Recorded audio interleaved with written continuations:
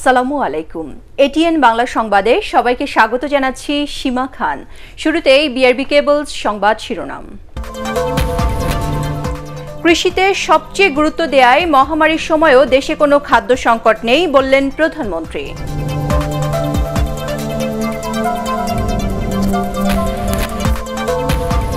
Corona ভাইরাসে একদিনে দেশে আরও পনেরো জনের মৃত্যু, নতুন আক্রান্ত দেড় হাজারেরও বেশি।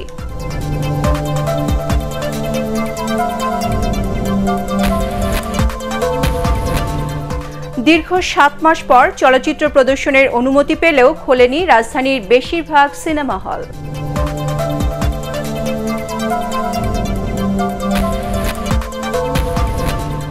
এবং ঢাকা পাঁচ ও নওগাঁ ছয় আসনের উপনির্বাচন কাল করোনার কারণে নেওয়া হয়েছে বাড়তি সতর্কতা।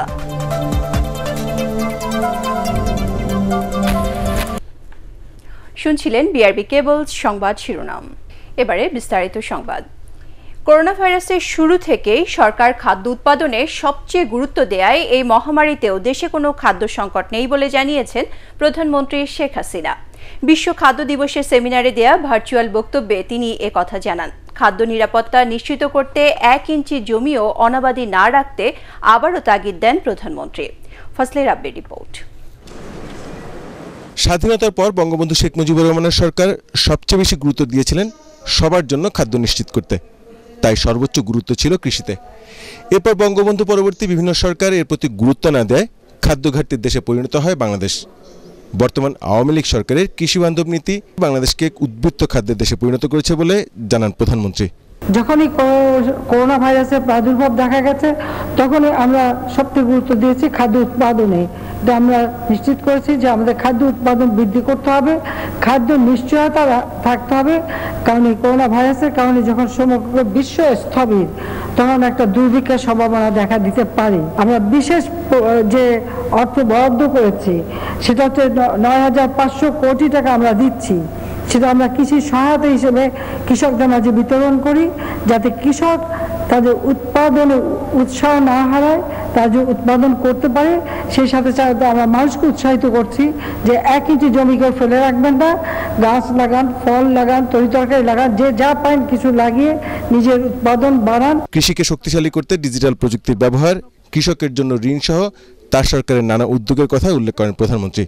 ডিজিটাল পদ্ধতির মাধ্যমেই কিন্তু আমাদের কৃষকরা সব রকম সুবিধা পাচ্ছে। সেই সাথে সাথে কৃষক উপকরণ যাতে পায়, তার ব্যবস্থা আমরা নিয়েছি সেদিকে লক্ষ্য রেখে আমরা টিএসপি সার, যেটা আশি টাকা ছিল, সেটা বাইশ টাকায় কমিয়ে এনেছি। এমপিও সত্তর টাকা থেকে পনেরো টাকায় এবং ডিএপি সার নব্বই থেকে ষোলো টাকায় আমরা কৃষকদের মাঝে বিতরণ করছি। সবাইকে নিয়ে একসাথে বিকশিত হন। শরীরের যত্ন নিন, সুস্থ থাকুন। আমাদের কর্মই আমাদের ভবিষ্যৎ। এই প্রতিবাদ্য নিয়ে এবার পালন করা হচ্ছে বিশ্ব খাদ্য দিবস। ফজলা রাব্বি এটিএন বাংলা, ঢাকা।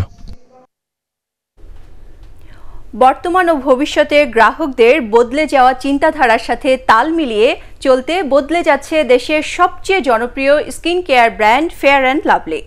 এখন থেকে ফেয়ার অ্যান্ড লাভলির নতুন নাম গ্লো অ্যান্ড লাভলি। দু হাজার উনিশ সাল থেকে ব্র্যান্ডটি উজ্জ্বলতার পাশাপাশি সামগ্রিক গ্লো নিয়ে কথা বলা শুরু করে। ত্বককে রেডিয়েন্ট করার পাশাপাশি গ্লো বলতে ব্র্যান্ডটি বাংলাদেশের নারীদের স্বপ্ন পূরণের পথে বাধা পেরিয়ে এগিয়ে যাওয়ার আত্মবিশ্বাসকেও বোঝায়। করোনা ভাইরাসে আক্রান্ত হয়ে দেশে গত চব্বিশ ঘন্টায় আরও পনেরো জনের মৃত্যু হয়েছে। এ নিয়ে মৃতের সংখ্যা বেড়ে দাঁড়াল পাঁচ হাজার ছশো তেইশ জনে।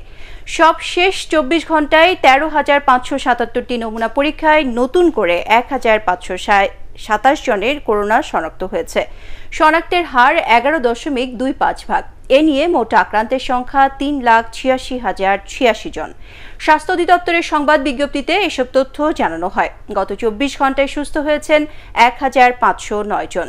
এ পর্যন্ত সুস্থ হয়েছেন তিন লাখ সাতশো আটত্রিশ জন। শনাক্ত বিবেচনায় সুস্থতার হার সাতাত্তর দশমিক আট নয় ভাগ। মৃতদের মধ্যে তেরো জন পুরুষ ও দুজন নারী। চব্বিশ ঘন্টায় ঢাকা বিভাগে সর্বোচ্চ বারো জন মারা গেছেন।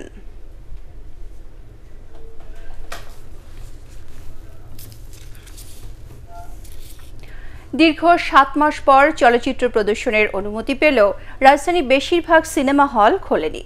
দর্শক কম ও নতুন ছবি নেই এমন নানা সংকটে এই বিনোদন বাণিজ্য আগের মতো সচল করার কথা ভাবতে পারছেন না হল মালিকরা। মনির হোসেন তপুর রিপোর্ট। করোনা ভাইরাসের সংক্রমণ এড়াতে একটানা সাত মাস বন্ধ রাখা হয় দেশের সব সিনেমা হল। তবে শুক্রবার থেকে স্বাস্থ্যবিধি মেনে এসব হল চালুর নির্দেশনা দেয় তথ্য মন্ত্রণালয়। সে ঘোষণায় রাজধানী দু একটি প্রেক্ষাগৃহ খুলেছে কিন্তু তাতে দর্শকের উপস্থিতি একেবারেই কম। ট্রেনের কাজ করতে হবে সিটের কাজ করতে হবে ওগুলো কাজ শেষ হয় না এগুলোর কারণে বন্ধ রাখছে। এখন যেহেতু খুলছে আশাবাদী আর কি দর্শক হয়তো হলে আসবে কিন্তু পরিবেশ আরও উন্নত করতে হবে। বন্ধ করে রাখছে আজকে? হ্যাঁ বন্ধ। দেন না সবই তো বন্ধ। হল মালিকরা বলছেন ভালো সিনেমা মুক্তি না পেলে বেশি দর্শক পাওয়া যায় না। তার উপর করোনার সংক্রমণের ভয়। এতে হল চালিয়ে তাদের খরচ উঠানো সম্ভব নয়। তাই হল খোলা সাহস পাচ্ছেন না অনেকে। ভালো ছবি আসুক, ভালো ছবি আসলে ভালো দর্শক আসবে। গল্পের মান যদি আমি আমার দেশ এবং এই দেশের কৃষ্টি কালচার নিয়ে যদি হয়, তাহলে এই দেশের এই সিনেমা হলগুলো আগের মতো দর্শক পরিপূর্ণ হবে। হলে দর্শকের উপস্থিতি বাড়াতে ভালো মানের ছবি নির্মাণে সরকারি সহায়তা বাড়ানোর দাবিও জানিয়েছেন চলচ্চিত্র পরিবেশক ও হল মালিকরা। মনির হোসেন তপু এটিএন বাংলা, ঢাকা। করোনায় অপ্রাতিষ্ঠানিক খাতের এক তৃতীয়াংশ ব্যবসা ক্ষতিগ্রস্ত হয়েছে। কাজ কমে যাওয়ায় ব্যবসা প্রতিষ্ঠান টিকিয়ে রাখতে হিমশিম খাচ্ছেন অনেক উদ্যোক্তা। অথচ মাস শেষে ঠিকই গুনতে হচ্ছে কর্মীদের বেতন, অফিস বা দোকান ভাড়া। এ অবস্থায় গ্যাস ও বিদ্যুৎ সহ আনুষঙ্গিক বিল মৌকুব করে অপ্রাতিষ্ঠানিক খাতের উদ্যোক্তাদের বিকল্প প্রণোদনা দেওয়ার পরামর্শ দিয়েছেন অর্থনীতিবিদরা। শারফুল আলমের রিপোর্ট। অমিয় হোসেন হৃদয়, মিরপুরের একটি ওয়েল্ডিং কারখানায় কাজ করছেন তিনি সহ আরও পাঁচজন। করোনা মন্দায় দীর্ঘদিন বন্ধ থাকার পর কাজ হচ্ছে ওয়ার্কশপে। তবে আগের মতো নেই কাজের ব্যস্ততা। আর যেসব কাজের অর্ডার পাচ্ছেন তাতেও ভালো দর পাওয়া যাচ্ছে না। এখন তো কাজও নাই কাজে চাপও নাই দোকান ভাড়া মনে করেন আমাদের হিমশিম খেয়ে চলতে হইতেছে। কাজ না থাকায় বেতন কমেছে অনেকের বিকল্প ব্যবস্থা না থাকায় কোনো রকমের দিন কাটছে তাদের। লোকজন সব বসা এখন একটু সমস্যায় আছি আর কি। এই মাসের বেতন ওই মাসে দিতে হয়। কোনো রকম কারেন্ট বিল এই শিল দোকান ভাড়া দিয়ে বেচারারা চলতে পারে না। তা আমরা কি করি জোর করে আদায় করি বেতন? তাদের মতো এমন অনেকেই করোনায় আর্থিকভাবে ক্ষতিগ্রস্ত হচ্ছেন। পরিসংখ্যান ব্যুরোর তথ্য অনুযায়ী করোনায় আর্থিক ক্ষতির সম্মুখীন হচ্ছেন দেশের প্রায় আটষট্টি ভাগ মানুষ। মার্চ থেকে আগস্ট এই ছয় মাসে আয় কমেছে বিশ ভাগ আর ব্যয় কমার হার ছয় ভাগেরও বেশি। সরকারের যে প্রণোদনা প্যাকেজগুলো ঋণ ভিত্তিক সেগুলোর সুবিধা কিন্তু সব ধরনের শিল্প প্রতিষ্ঠান সমানভাবে নিতে পারেনি। বড় শিল্প প্রতিষ্ঠান যতটা পেরেছে, ক্ষুদ্র মাঝারি উদ্যোগ এমনকি অপ্রাতিষ্ঠানিক উদ্যোগ তো একেবারেই সেই সুবিধা পায়, পেয়েছে বলে মনে হয় না। বিদ্যুৎ বিল, গ্যাস বিল, পানি বিল, এগুলো যদি আংশিক বা পূর্ণভাবে আরও কিছু সময়ের জন্য মৌকুফ অথবা পিছিয়ে দেওয়া যেত তাহলে এই প্রতিষ্ঠানগুলো অন্তত স্বল্প পরিসরে চললেও তাদের এই বাড়তি ব্যয়গুলোর দুশ্চিন্তা থেকে মুক্ত থাকতে পারত। শর্ত শিথিল করে প্রণোদনা প্যাকেজের অর্থ অপ্রাতিষ্ঠানিক খাতের উদ্যোক্তাদের দেয়ার তাগিদ দিয়েছেন ব্যবসায়ী ও গবেষকরা। শরফুল আলম এটিএন বাংলা, ঢাকা। আগামীকাল ঢাকা পাঁচ ও নওগাঁ ছয় আসনে উপনির্বাচন। দুই আসনে ভোট গ্রহণ হবে ইভিএমে নির্বাচনে আওয়ামী লীগ ও বিএনপি সহ বেশ কয়েকটি রাজনৈতিক দলের প্রার্থীরা অংশ নিচ্ছেন। যদিও ভোটের মাঠে তেমন উৎসাহ উদ্দীপনা নেই। নওগাঁ প্রতিনিধি রায়হান আলমকে সাথে নিয়ে রিপোর্ট করছেন একরামুল হক সায়েম। উপনির্বাচন নিয়ে রাজনৈতিক অঙ্গনে অতটা তোড়জোড় না থাকলেও কমতি নেই নির্বাচন কমিশনের আয়োজনের। ঢাকা পাঁচ ও নওগাঁ ছয় এই দুই আসনেই ইলেকট্রনিক ভোটিং মেশিন ইভিএমে ভোট গ্রহণ হবে। করোনা পরিস্থিতিতে স্বাস্থ্যবিধির বিষয়টি আমলে নিয়ে বাড়তি সতর্কতাও নেওয়া হয়েছে।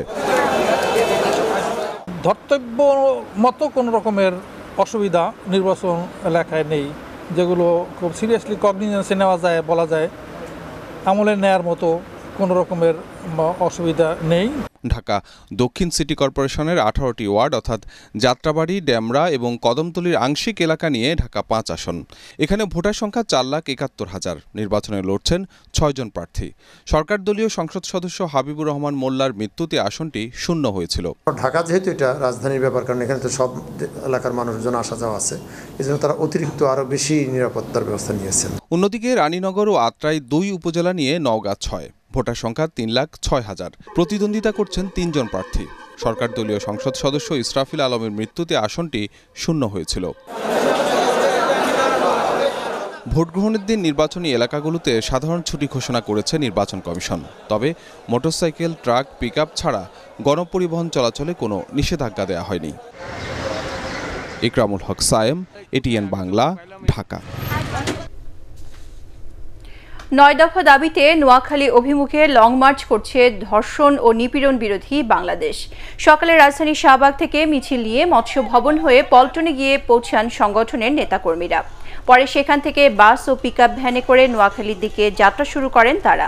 যাত্রাপথে নারায়ণগঞ্জ ও কুমিল্লা সহ বিভিন্ন স্থানে সমাবেশ করে রাতে ফেনীতে অবস্থান করবে বামপন্থী ছাত্র সংগঠনগুলোর সমন্বয়ে গড়ে ওঠা ধর্ষণ বিরোধী এই জোট। আগামীকাল বিকেলে নোয়াখালীর মাইজদিতে অনুষ্ঠিত হবে সমাবেশ।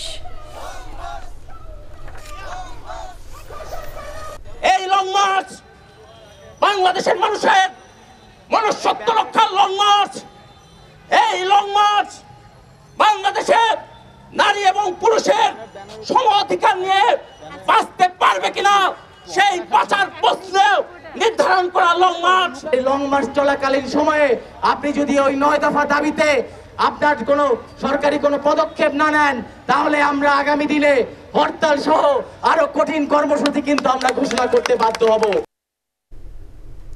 দেশে বিচারহীনতার সংস্কৃতি চলায় শুধু মৃত্যুদণ্ডের বিধান করে অন্যায় ও অপরাধের অবসান হবে না বলে মন্তব্য করেছেন বিএনপির স্থায়ী কমিটির সদস্য গয়েশ্বর চন্দ্র রায়।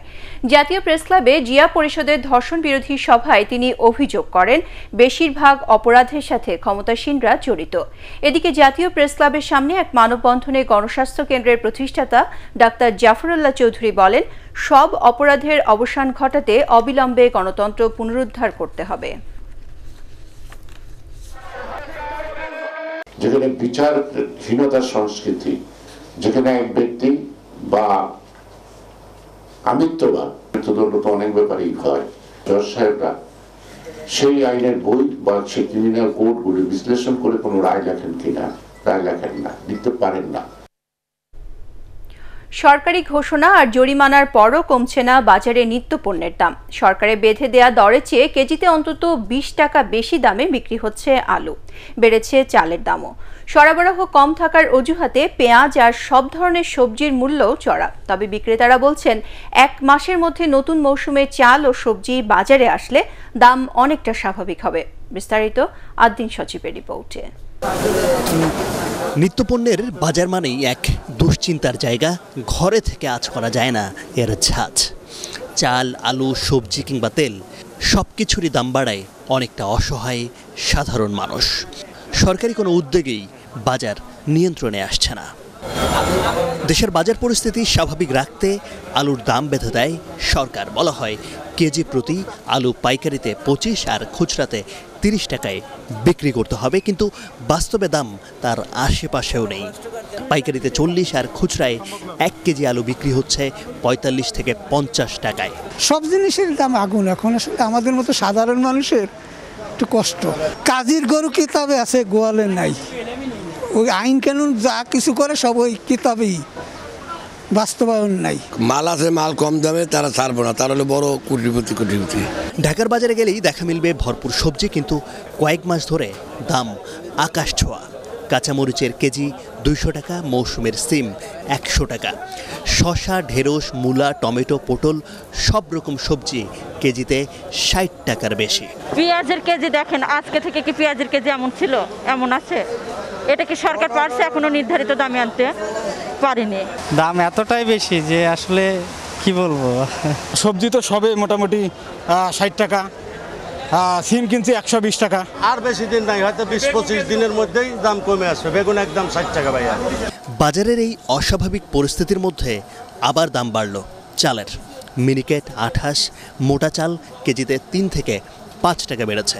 মেল মালিকদের কারসাজি অন্য কিছু না। মেল মালিক আগে মেল ছিল কম, উত্তরবঙ্গে। এখন সবাই ব্যবসায়ী। অনেকগুলো মেল হয়ে গেছে।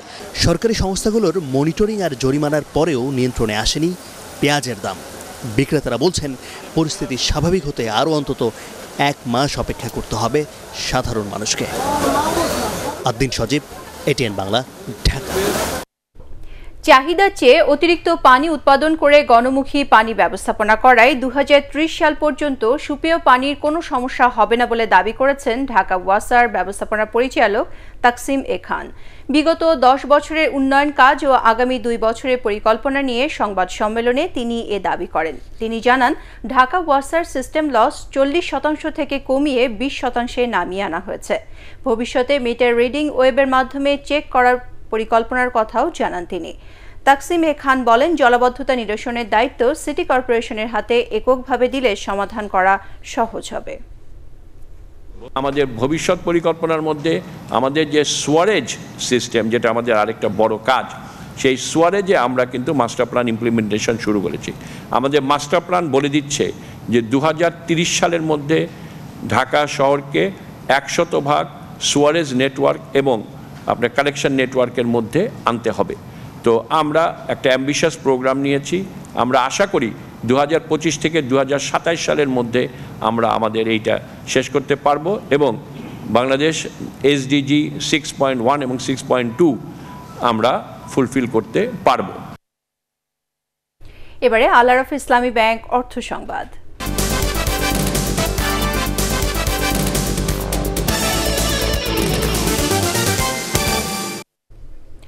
সবার জন্য কর্মমুখী শিক্ষা নিশ্চিত করার পরিকল্পনা করছে সরকার। এজন্য শিক্ষা খাতকে আরও আধুনিক করার পাশাপাশি তরুণদের যোগ্য করে গড়ে তোলার উপর সবচেয়ে বেশি গুরুত্ব দেওয়া হচ্ছে বলে জানিয়েছেন শিক্ষামন্ত্রী ডাক্তার দীপুমণি রাজধানী কৃষিবিদ ইনস্টিটিউশনে পরিবার পরিকল্পনা বিষয়ক যুব সমাবেশে ভার্চুয়ালি যুক্ত হয়ে তিনি এসব কথা বলেন। করোনাকালীন এই সময়ে শিক্ষার্থীদের জন্য অনলাইনে প্রযুক্তি বিষয়ক ওয়ার্কশপে আরও বাড়ানো হবে বলেও জানান তিনি। এ সময় মূলধারার শিক্ষার সাথে যৌনতা শিক্ষাকে সম্পৃক্ত করার উপর জোর দেন আলোচকরা। আমরা মডিউলার শিক্ষার কথা বলছি। ডিগ্রিগুলোকে ভেঙে ভেঙে বিভিন্ন মডিউলে নিয়ে আসা। এবং যার যেটুকু প্রয়োজন, সে সেইটুকু করে। অনলাইনে করা ডিস্টেন্স লার্নিং করা, সকল সংকটের মধ্যেই সম্ভাবনা লুকিয়ে থাকে। আমাদের কাজ হলো সেই সম্ভাবনাগুলোকে খুঁজে বের করা, সেই সম্ভাবনাগুলোকে কাজে লাগানো। এবারে মিল্কভিটা আন্তর্জাতিক সংবাদ।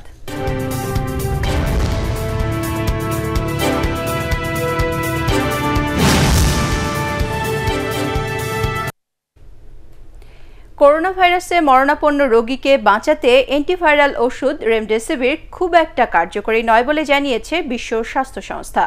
হাইড্রক্সি ক্লোরোকুইন সহ মোট চারটি প্রতিষেধকের উপর গবেষণা করে এই প্রতিবেদন দিয়েছে ডাব্লিউএইচও তবে তাদের এই গবেষণা ফল প্রত্যাখ্যান করেছে রেমডেসিভিরের উৎপাদনকারী মার্কিন প্রতিষ্ঠান গিলিড। তারা বলছে, অন্যান্য গবেষণার সাথে এই প্রতিবেদনের কোনো সামঞ্জস্য নেই। আফ্রিকান ভাইরাস, ইবোলার প্রতিষেধক হিসেবে তৈরি রেমডেসিভির করোনা ভাইরাসে প্রথম কোনো ওষুধ যাকে এতদিন বেশ কার্যকরী বলে মনে করা হচ্ছিল। সম্প্রতি হাসপাতালে মার্কিন প্রেসিডেন্ট ডোনাল্ড ট্রাম্পকেও দেয়া হয় ওই প্রতিষেধক। ডাব্লিউএইচওর প্রধান বৈজ্ঞানিক কর্মকর্তা সৌম্য স্বামীনাথন জানান, ত্রিশটিরও বেশি দেশের পাঁচশো হাসপাতালে বাইশ হাজার দুশো ছেষট্টি জন রোগীর উপর চার প্রতিষেধকের কার্যকারিতা পর্যবেক্ষণ করে গবেষণা ফলটি তৈরি করা হয়েছে। এবারে বাণিজ্য সংবাদ।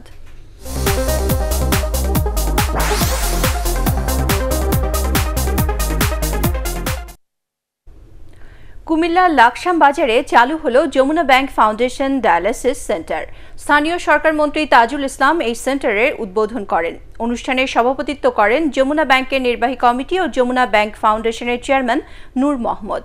ব্যাংকের ব্যবস্থাপনা পরিচালক ও প্রধান নির্বাহী কর্মকর্তা মির্জা ইলিয়াস উদ্দিন আহমেদ, কুমিল্লার জেলা প্রশাসক আবুল ফজল মীর, পুলিশ সুপার সৈয়দ নুরুল ইসলাম এ সময় উপস্থিত ছিলেন।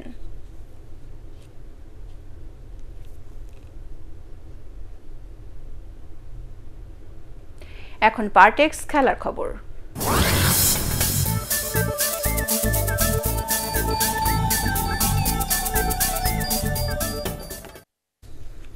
মিরপুরে বিসিবি প্রেসিডেন্টস কাপের দ্বিতীয় পর্বে আগামীকাল মুখোমুখি হবে মাহমুদুল্লাহ একাদশ ও নাজমুল একাদশ।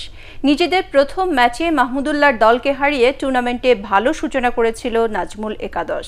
তবে পরের ম্যাচে তামিমদের কাছে হেরে যায় তারা। এবার সেই ভুল শুধরে নিতে চায় নাজমুলের দল। অন্যদিকে এক ম্যাচ জিতলেও দলের টপ অর্ডারদের ব্যর্থতা নিয়ে দুশ্চিন্তায় মাহমুদুল্লাহরা শেরে বাংলা জাতীয় স্টেডিয়ামে দুপুর দেড়টায় শুরু হবে ম্যাচটি। সংবাদ শেষ করার আগে বিআরবি কেবল শিরোনামগুলো আরও একবার।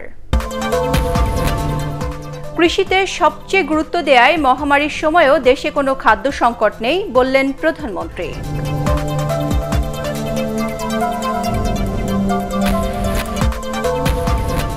করোনা ভাইরাসে একদিনে দেশে আরও পনেরো জনের মৃত্যু, নতুন আক্রান্ত দেড় হাজারেরও বেশি।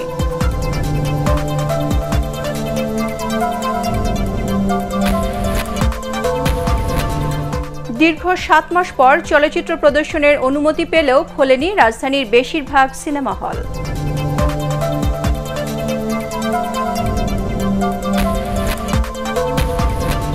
এবং ঢাকা পাঁচ ও নওগাঁ ছয় আসনে উপনির্বাচন কাল করোনার কারণে নেওয়া হয়েছে বাড়তি সতর্কতা।